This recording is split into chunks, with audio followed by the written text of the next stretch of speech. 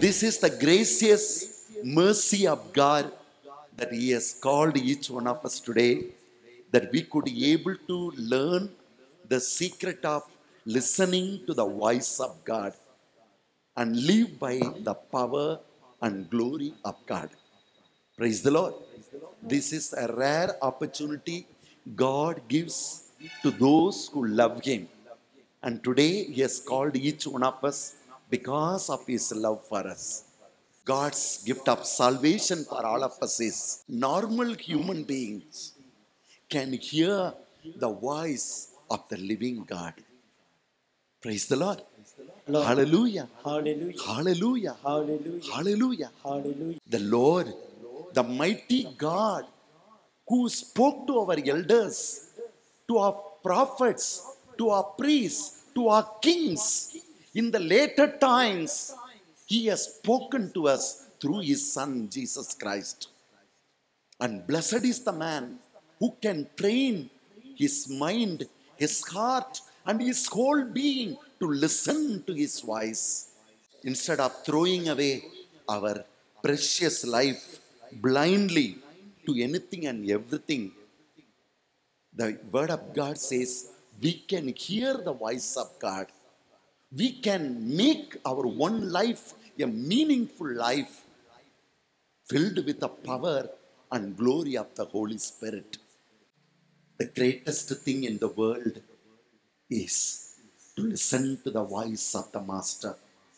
If you don't listen to the voice of the Master, the noises that is surrounding you, the pain, the noise of pain, the noise of issues, the noise of your needs, the noise of your hurts and wounds will drown the voice of God.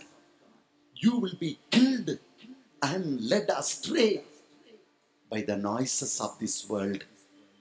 Ask the Lord, Lord, even the worst marital problems can be solved if we hear your voice, which is the direction for our life.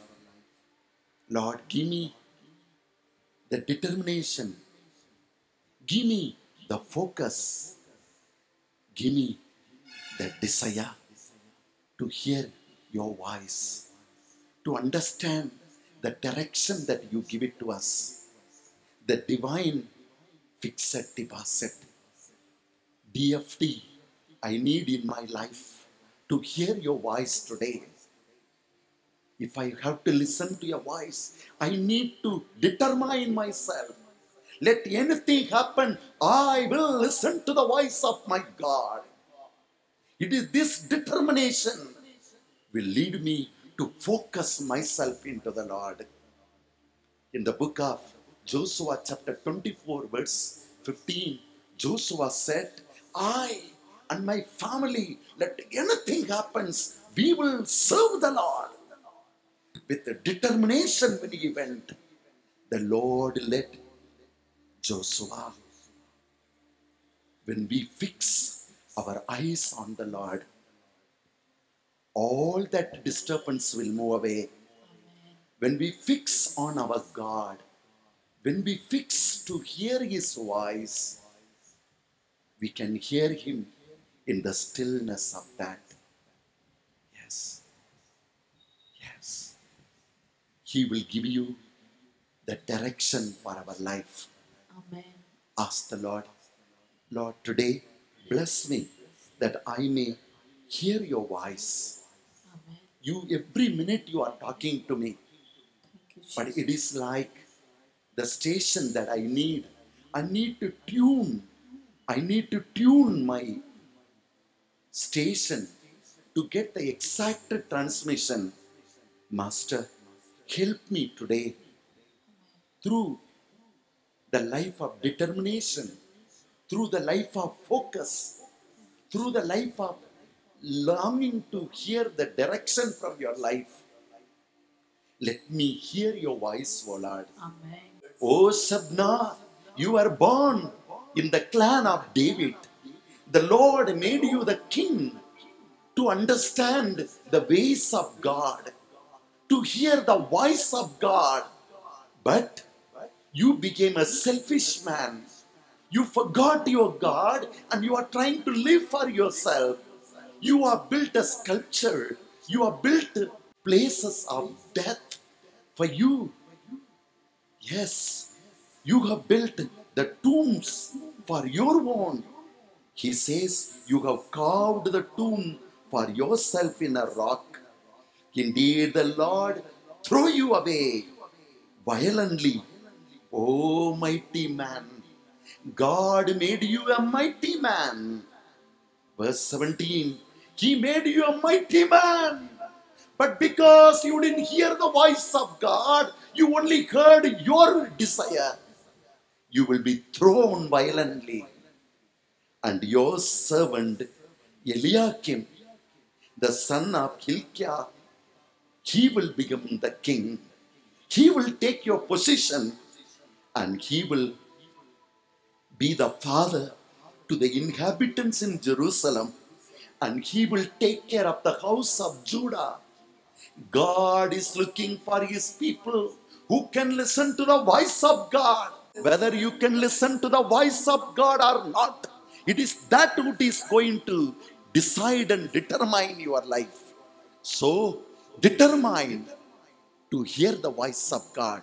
Focus your mind to listen to the voice of God and understand the direction of the voice of God. Ask the Lord for these three gifts today. Determine, let anything happen. I will listen to the voice of God. Determine to listen to the voice of God. Focus your mind on the voice of God. Third, understand the direction the Lord gives you from the voice of God. It is divine FD. It is divine great treasure for you. The Lord wants to give it to you. Surrender your life to Him. The Word of God today clearly teaches us. Romans chapter 11, verse 36. It is for Him and it is through Him. It is to Him every human being is created. And the purpose of our life is to bring glory to Him.